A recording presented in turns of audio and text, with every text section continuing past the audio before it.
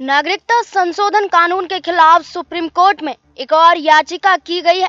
ये याचिका association for protection of civil rights नाम की संस्था ने दाखिल की है।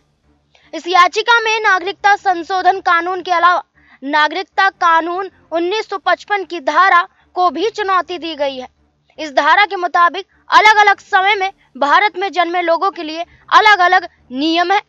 नागरिकता संशोधन कानून के खिलाफ सड़कों पर विरोध प्रदर्शन तो हो ही रहा है।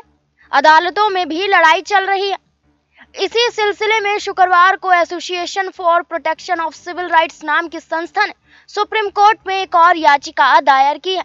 इस याचिका में याचिकाकर्ता ने नागरिकता संशोधन कानून 2019 नागरिकता कानून 1955 की धारा तीन एक और नागरिकता कानून 1955 के तीसरे शेड्यूल को असंवैधानिक करार दिया है। आपको बता दें, याचिका में कहा गया है कि नागरिकता कानून 1955 की धारा तीन एक भारत में अलग अलग समय में जन्मे बच्चों को नागरिकता देने के लिए अलग अलग शर्त पे रखा जाता है। याचिका में बच्चों के अधिकार पर खास तौर पर ज़ोर दिया गया है। इसमें कहा गया है कि इसके प्रावधान ऐसे हैं कि कुछ बच्चों को कहीं की नागरिकता नहीं मिल पाती है और ऐसा करना संयुक्त राष्ट्र के मूल्य और सिद्धांतों का उल्लंघन है। बता दें, नागरिकता संशोधन कानून का विरोध जारी है। वहीं कई राज्यों में नागरिकता कानून के समर्थन में भी कुछ लोग प्रदर्शन कर रहे हैं।